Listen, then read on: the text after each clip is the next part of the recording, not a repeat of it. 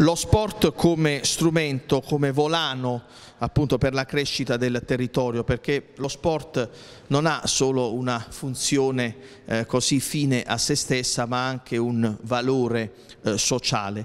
Siamo con Vincenzo detto Enzo Di Gregorio, candidato al Consiglio eh, regionale pugliese con il Partito Democratico. Di Gregorio è eh, stato ed è sempre vicino alle eh, tematiche e alla vita sportiva. Eh, chi mi conosce bene sa che sono un grande appassionato di pallacanestro, grazie anche a mia figlia Roberta e mio figlio Luca.